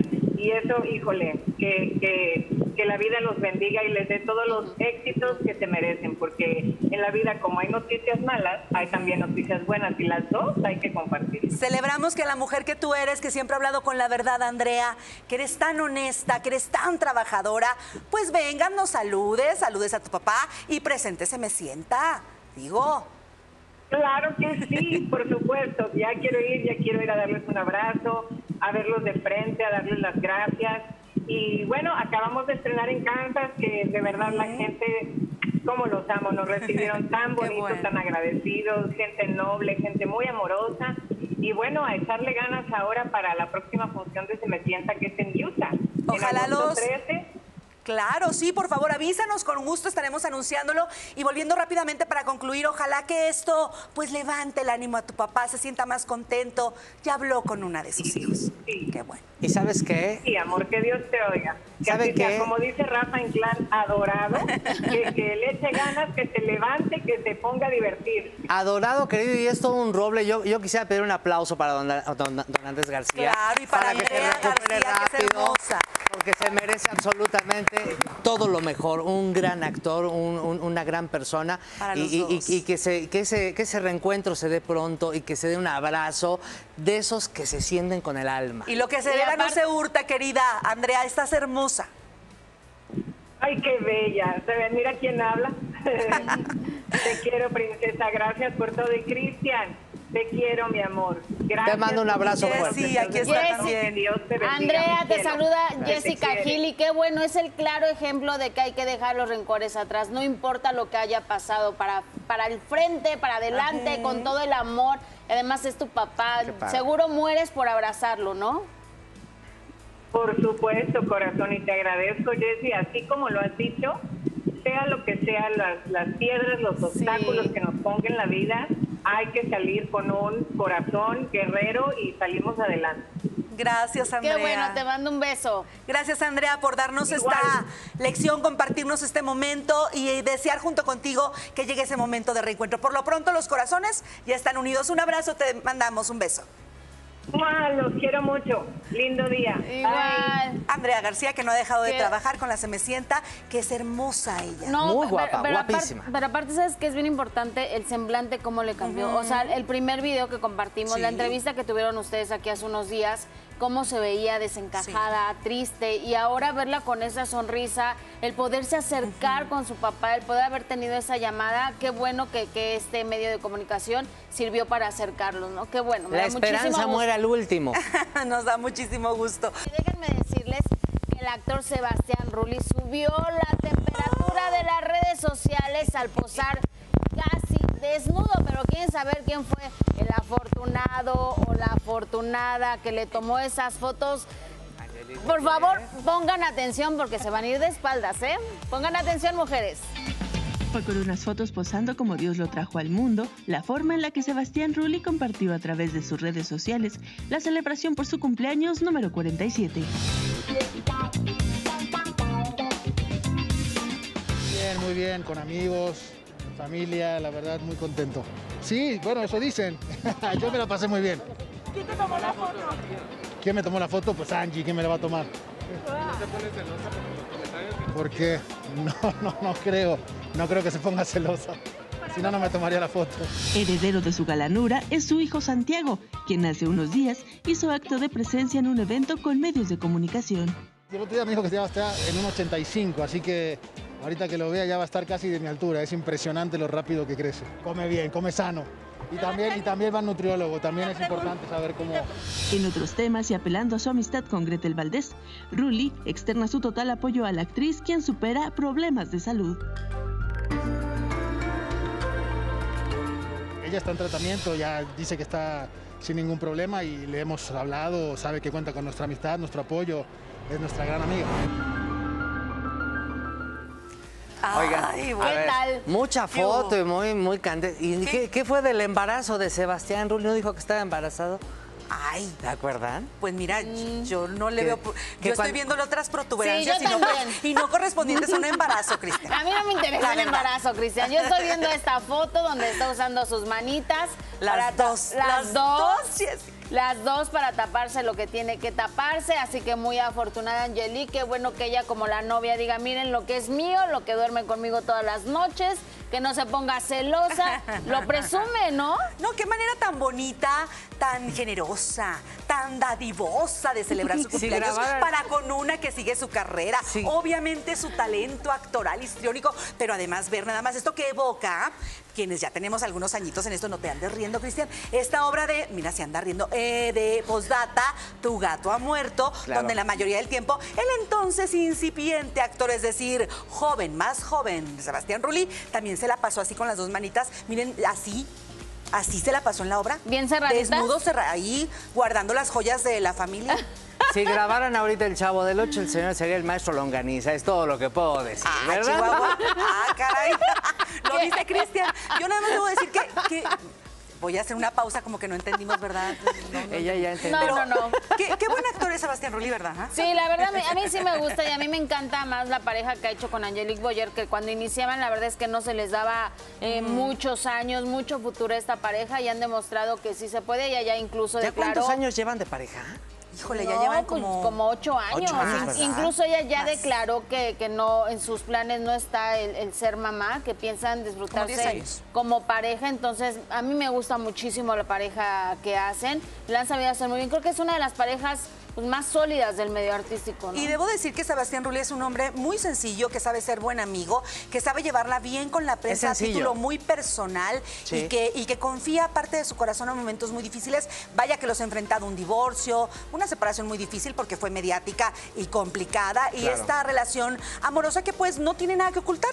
Y se ve que lo poquito que tiene que ocultar, lo oculta con las dos manos. En algún momento Angelique Boyer comentó que a ella, ella se ve más como siendo la tía de, de- de los, de los hijos de todas sus amigas y de toda su familia, pero que sí, de plano, los hijos que le saca. No, ahora le- también hay Pasa que sin decir ver. que a Sebastián le costó trabajo lidiar con, a pesar de todos los años que lleva ya en esta carrera, le ha costado muchísimo, muchísimo trabajo lidiar con, con la prensa y con los medios de comunicación. ¿eh? Ahori- Ahorita sí contesta, pero no creas que lo está disfrutando al máximo. Es así como camino rápido contesto porque tampoco le gusta mucho platicar con, con los medios de comunicación. Nunca ha sido grosero, eso sí, pero no, eh, no le gusta. No Se le platica, pero. ¿qué tal se toma fotos? Mi experiencia con él de verdad es que es alguien muy cordial, muy humano y vaya que es muy humano. Ay, Dios, bueno, Sí, muy sí, buena. Sobre todo la parte muy humana, Bueno, ¿verdad? ándale, Cristian, ya síguele porque no Mientras tanto, Marisol Sosa festeja 57 años y, por supuesto, eh, José José en temas ya más, más serios. Fíjese, la pregunta, ¿ha tenido contacto con su hermana Sara?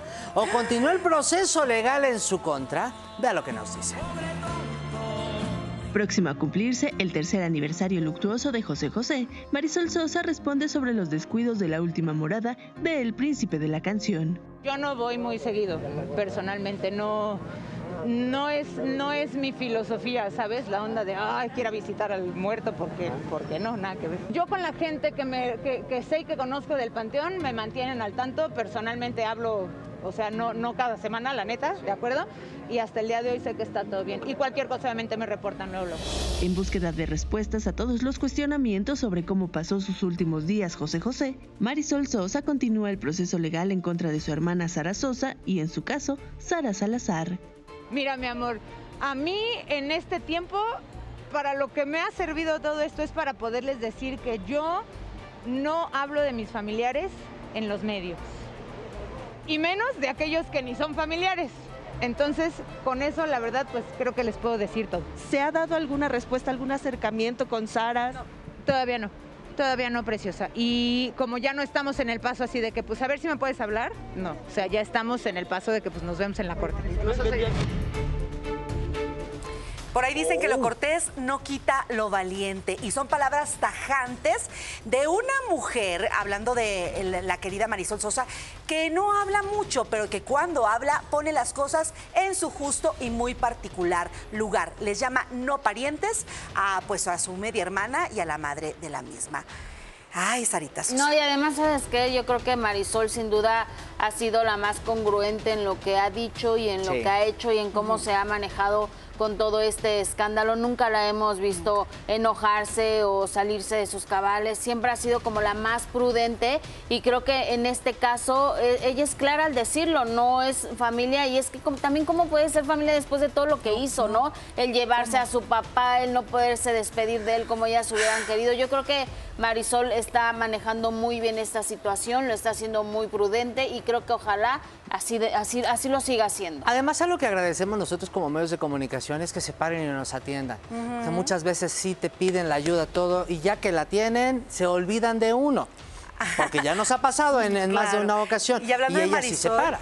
Claro, y hablando de Marisol, fíjense, eh, respecto a Manuel José, ella nunca se ha pronunciado, a diferencia de su hermano y su mamá, eh, de que en, en contra de que el señor haga su trabajo como imitador o no, o como intérprete, como quieran llamarle. Ella no tiene ningún problema, lo único que siempre ha pedido es que no se ostente como hijo del señor eh, José, José José. José. Eso es eso por un lado. Por otro lado, la situación que ella ha estado diciéndonos de un tiempo a la fecha de que el tema de la herencia no le interesa, yo puedo decir ahorita, con- lo, te- lo digo con, con derecho de que vi la información, ella firmó a inicios de año, tengo entendido, una carta donde renuncia, escuchen esto, solamente lo sabe aquí, renuncia a todo derecho que pueda recibir como hija de José José.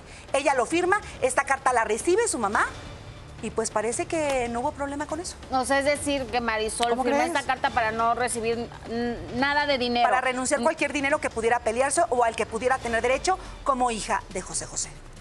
Ay, qué fuerte. Ok, congruente con lo que ha dicho en todo momento. Bueno, Sí, sin duda. Después, cambiando de tema, de que Miriam Montemayor llevó a instancias legales. Fíjense hasta dónde esto escaló su disputa con Toñita, porque la cantante veracruzana aseguró que donde ella se la viera de frente, miren, le daría un tiro, llegarían hasta los golpes, si se veían. Ahora en vivo, pues saludamos a Toñita, a ver si siguen lo dicho. Toñita, ¿cómo estás? Ay, Toñita, ay, Toñita. Hola, hola, ¿cómo están todos? Qué gusto saludarte, bien, Toñita. Te ves muy bonita, te ves muy bonita, Toñita. Pero así, de tu ronco pecho, la verdad, si sigues en el dicho de que donde la veas, guamazos, a Miriam. Es que sabes que a los medios se les olvidó poner lo último que dije, que era nunca lo haría.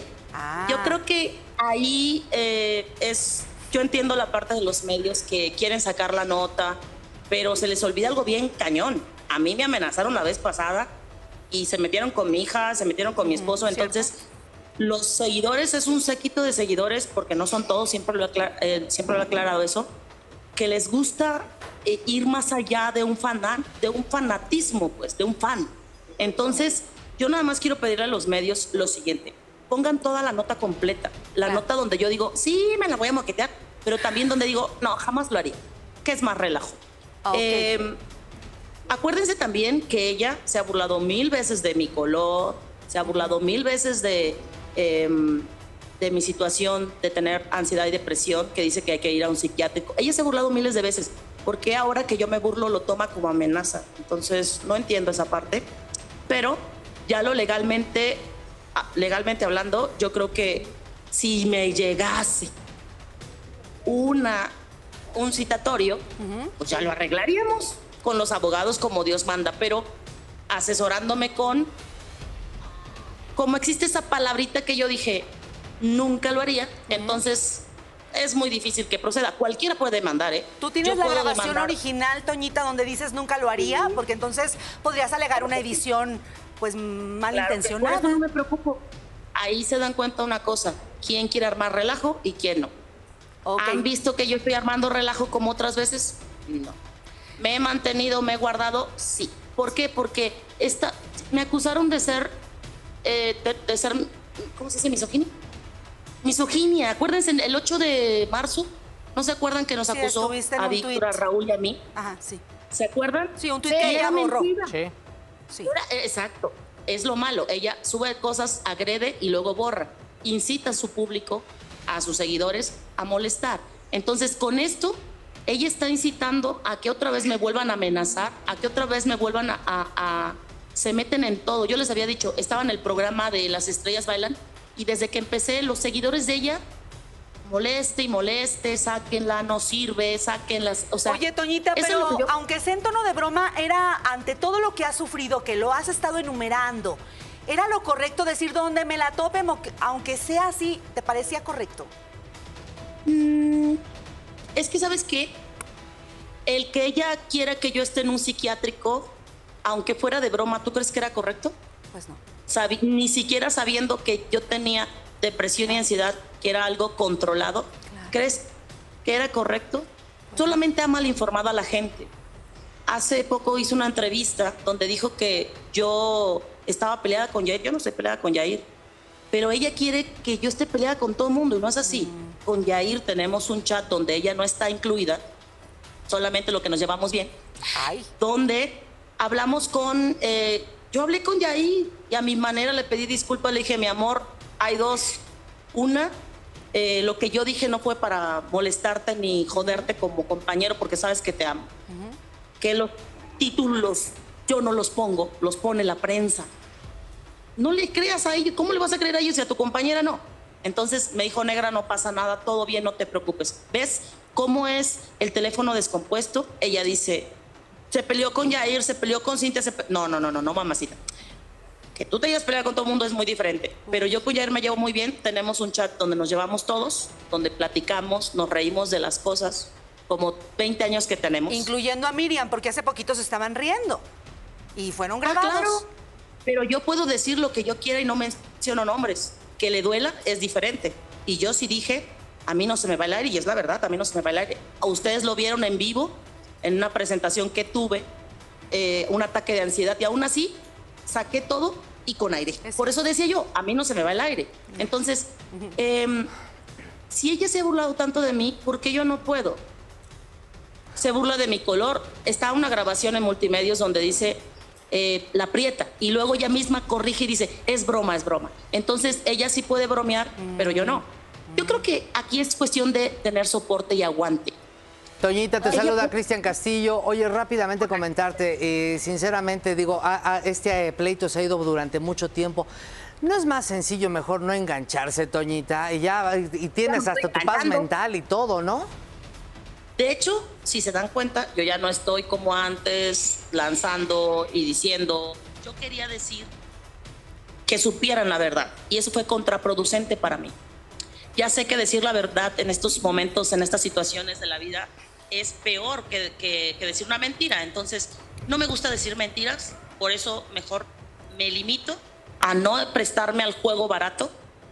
A- me dicen, es que te dijo Rupestre y que lo diga, ella puede decir lo que quiera, pero que yo me lo crea, eso es muy diferente. Aclaramos las cosas. Entonces, como yo soy una persona que estudió una carrera, ella no, yo soy una persona que ha logrado cosas, pues bueno, es como decir, yo no voy a ponerme a comparar lo tuyo, porque cada quien lleva su carrera a su paso y a su forma. Y si alguien ha estado trabajando vigente durante estos 20 años, ha sido Toñita. Y perdón, pero ahí sí no voy a minorizar mi carrera, ni las cosas, ni el esfuerzo, porque a mí me ha costado. Pero si ella quiere decir que soy rupestre, negra, prieta, lo que ella quiera, sale de ella, cada quien da lo que tiene.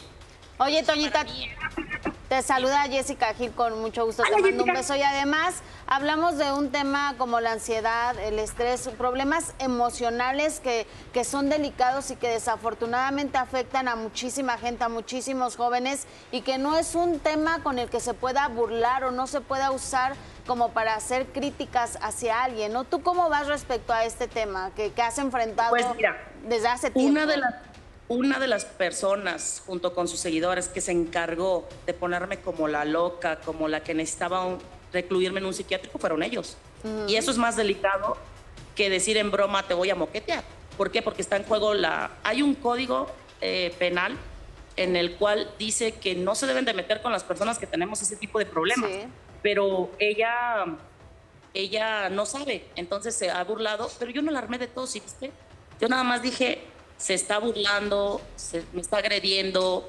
Los seguidores de ella, de hecho, no han dejado y no han parado de agredirme, aunque yo no hable de ella. Entonces, em, si la señora está ahorita preocupada porque la voy a golpear, Miriam, eso no va a pasar y lo sabes. O sea, eso es como, es- está en tu mente. Tú sí debes de buscar un psicólogo para que te ayude, para que te quite ese, ese tipo de cosas de que todo el mundo está en tu contra. Los únicos que están en tu contra son tus seguidores que te que no te dicen las cosas como es y que te dicen otras cosas que uno ni siquiera ha dicho. Espero que te hayan dicho, es verdad, yo admito mis, mis errores y admito lo que yo diga, pero lo que yo diga, que yo haya dicho que me la iba a madrear, es cierto, yo lo dije. Pero también en el video dije, nunca lo haría. Y si eso no te llegó, qué pena que tus seguidores, en vez de ayudarte, te inciten más al odio y te hagan ver cosas que no existen. Oye, no. Toñita. Oye, Toñita, y y una duda. ¿Y has pensado en, en demandar tú también por todo el hate que estás recibiendo? Y no solo tú, también tu familia. ¿Sabes qué? Hacer este tipo de cosas es crear y querer llamar más la atención. Alguien me dijo, ya está guaruras trae yo. O sea, neta, no soy peligrosa. En mi vida me he peleado con alguien. En mi vida. Una. Dos. Practico box, sí. Pero el box es arma blanca. Si tú le pegas a una persona normal, por defensa propia se puede. Pero si le llegas a pegar a una persona, ahí sí te pueden demandar porque tú tienes más conocimiento de golpes que la persona. conozco mis derechos, por eso te digo, cuando yo reciba una citatorio que necesito estar, pues lo arreglarán los abogados, pero no tengo ningún problema porque yo me hago responsable de lo que yo diga, más no de lo que las notas digan o sugieran o pretendan que yo dije. O sea, eso es muy diferente. ¿eh? Claro. Y a sus seguidores, neta, eh, sí, yo dije, a mí no se me va el aire porque a mí no se me va el aire, perdóneme la vida. Entonces, si alguien es indisciplinado, no trabaja su diafragma, usa un fajononón, obviamente se te va a ir el aire. Pero si se dan cuenta, este sábado lo hizo muy bien, de hecho me gustó y la felicito. Porque ya no usó faja, entonces ya el aire no se te va. y es maravilloso. No, Toñita, no, bueno. No salimos de una para cuando ya estamos en otra. Ahora ya es el fajononón. Ay, Toñita. Bueno, pero aclarado Pero no está. Creo que No creo que me vayan a demandar por decir el fajononón, o sí. No, no, no. Esperemos que no. Pues no sé, Toñita. Oye, gracias por una vez más platicar con nosotros y que te vaya muy bien. Y que, No, ay, la ojalá verdad, dejemos de hablar de eso. Solamente decirles lo siguiente. Eh, neta, no soy una mala persona.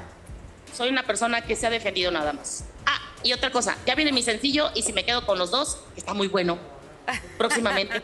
Y si me quedo con los dos, mucho éxito con eso, querida. queremos, Quedarse con Toñita. dos y irse con una. Ay, Dios mío. El Beso. fajononón. Ay, no, no. Gracias. Ay, Toñita, ¿qué, Híjole, qué trae no, con no, las no. que usamos faja? oye? Fajononón. Fajononón que tenemos que usar. No, no, no.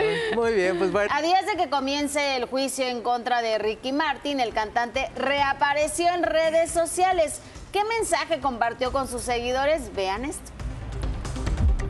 Señalado por su sobrino Denis Yadiel Sánchez como el responsable de los abusos sexuales que supuestamente sufrió y la violencia doméstica que presuntamente vivió durante siete meses en los que ambos mantuvieron una relación de incesto, Ricky Martin, en compañía de su familia y sus abogados, hace frente a dichas acusaciones. Ricky Martin y su sobrino se enfrentarán en una audiencia dispuesta para el jueves 21 de julio en Puerto Rico.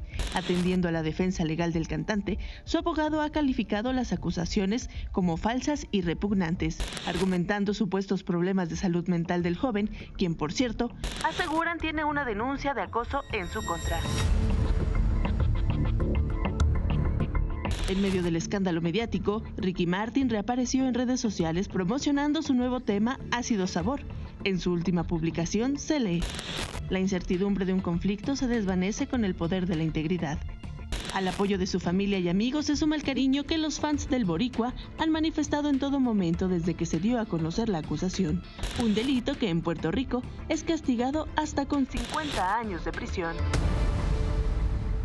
Qué fuerte. Según esta denuncia, no solamente, fíjense, esta denuncia asegura, no solamente que Ricky Martin, sí, el ídolo Ricky Martin ha estado pues acusando a una persona, sino que también ha cometido incesto, así que ha tenido, según la versión, romance con su propio sobrino. Ahora, para tratar este tema, ¿qué les parece si nos enlazamos en vivo para hasta Puerto Rico con Fernán Vélez, quien nos eh, da el detalle de este delicado caso? Adelante con tu reporte, querido Fernán. Gracias.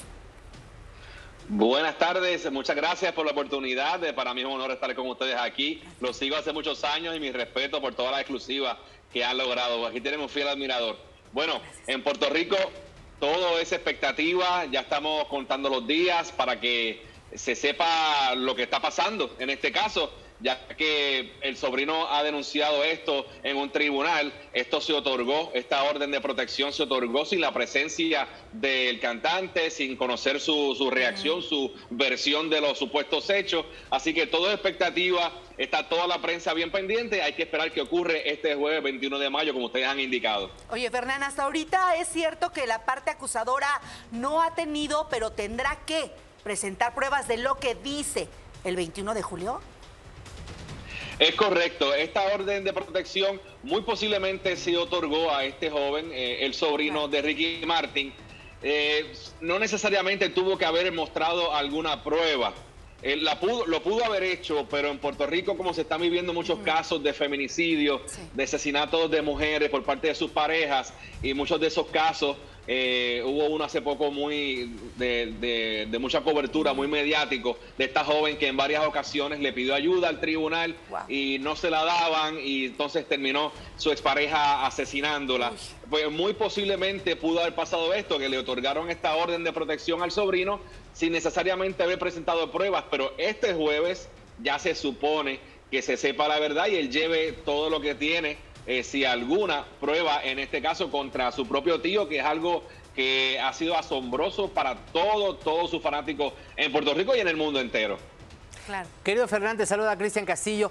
A ver, este tema se ha hecho mediático a nivel mundial y yo te pregunto a ti, ¿Qué se dice? ¿Qué se comenta allá? ¿Qué dice precisamente el público, los seguidores de Ricky Martin? ¿Qué dice la gente sobre, sobre el tema?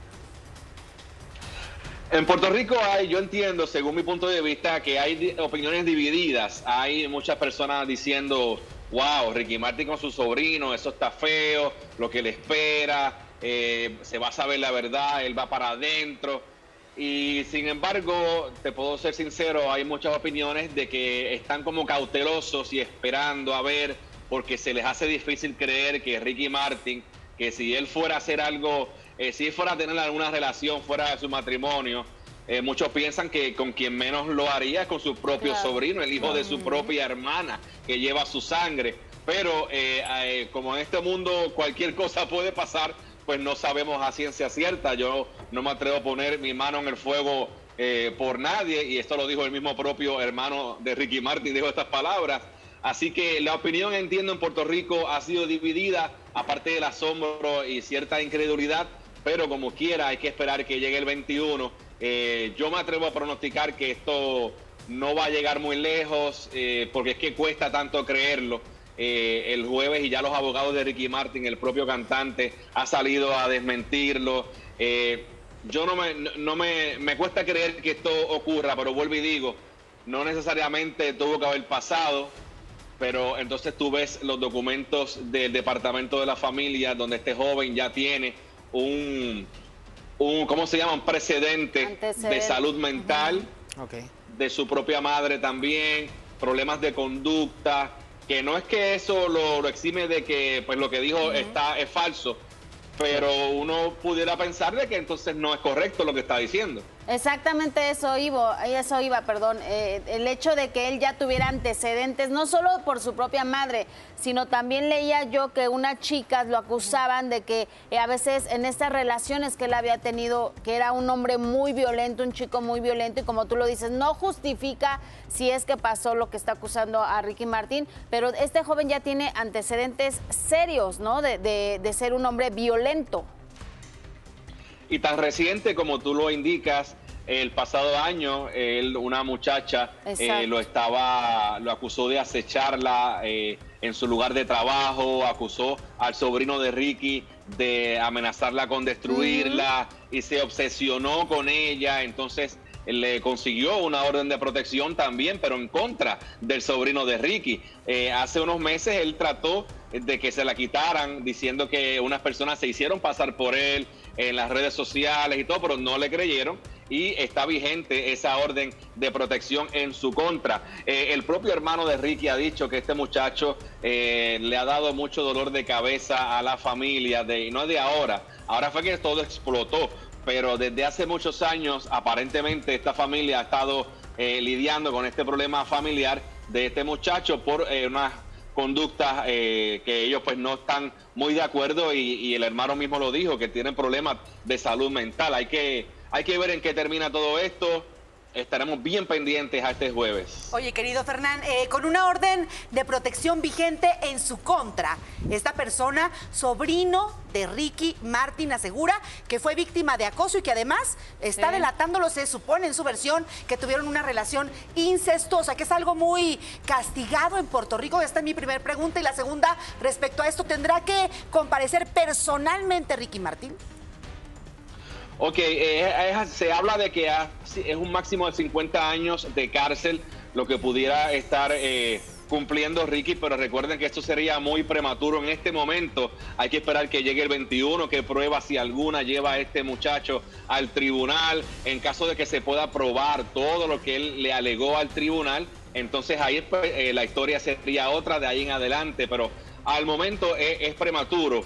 Eh, la otra pregunta, eh, discúlpame, ¿cuál fue la otra pregunta? Ricky Martin tendría que comparecer, tendría que estar ahí presente el 21 de julio. Bueno, eh, la información que yo tengo es que Ricky no va a estar presente. Esta audiencia se va a dar de forma virtual, o al menos Ricky va a estar eh, de forma virtual, pero sí, él ha accedido, él ha pedido a sus abogados estar eh, presente de esa manera. Eh, no, incluso no necesariamente tiene que estar en la vista, en la audiencia, pero él, la información que tengo es que él solicitó estar presente de manera virtual, a manera de dar cara, de demostrar de que está loco de que termine ya esto para él y para su familia. Ay, Ferran, muchísimas gracias. Te vemos el jueves, ¿verdad? Para que nos traigas. Sí, bueno, eh, ya te comprometemos. ustedes me- los detalles. Las veces que ustedes me, me necesiten, Ricky, Ricky Martin, hay, unos, hay unos premios que van a hacer esta semana. Él está nominado, él no va a estar presente en esos premios, sin embargo, él va a retomar sus presentaciones artísticas este fin de semana. Él tiene unos conciertos en Los Ángeles con la Filarmónica de Los Ángeles. O sea que él está retomando, como ven en sus redes sociales, su trabajo, su- sus grabaciones, su música. Eh, su esposo compartiendo eh, la publicación de, de Ricky, que eso pues aclara un poco los rumores de que supuestamente estaban en problemas en el matrimonio. Yo no creo que sea así. Obviamente no debe ser algo fácil tampoco para ese matrimonio. Pero lo que sí es cierto que Ricky tiene este fin de semana unos conciertos en Los Ángeles y va a continuar su trabajo hasta el momento. Todo depende, ¿verdad?, de qué ocurra también este próximo jueves. Querido Fernando, una duda. ¿Y en algún momento se le vio a Ricky Martin con su sobrino juntos? No tengo esa información. Eh, Yo las imágenes que se ha mostrado ha sido del hermano de Ricky con el muchacho en diferentes ocasiones, en momentos familiares, en buenos momentos. El joven comiendo con su tío, con Eric, el hermano de Ricky, en restaurante con otros miembros de la familia. E incluso Eric es eh, fisicoculturista y en ese momento, hace apenas cuatro años, hay un video que está en las redes sociales donde el propio hermano de Ricky está entrenando en un gimnasio al sobrino de Ricky. O sea que no siempre este muchacho es como lo han pintado, de que está loco, de que tiene problemas. Sí, la familia ha compartido buenos momentos con él, pero eh, en este momento pues la historia es otra según ellos. Claro, muchísimas gracias a Fernán Vélez desde la isla, que espero que nunca sea del desencanto, no en este caso, desde Puerto Rico. Muchísimas gracias, Fernán. Gracias a ustedes, un placer. Nos vemos el jueves. Ay, no, no, no. Qué- qué- qué tema, ¿eh? Qué y de tema. primera mano, Fernán nos va a tener todos los detalles el próximo jueves, Jueves, ahí 21 de julio, donde pendiente. se desahogarán pruebas definitivas. Muchísimas gracias, queridísima Gracias, Jessica Gil Porras. gracias Eres una reina de la radio y Gracias. ahora de la televisión Gracias, abierta. amiga, un placer. Querido, muchas gracias, Cristian. Mañana muchísimas nos vemos. gracias. Mañana aquí nos vemos, por supuesto. Tenemos la cita de primera mano, por supuesto, con las mejores exclusivas. Muchísimas gracias. En punto de las 3 regresamos a nuestro horario habitual. Muchísimas gracias por acompañarnos, Lalito. Te queremos y te estamos esperando. Le mandamos un abrazo. Hasta luego. Gracias. Adiós.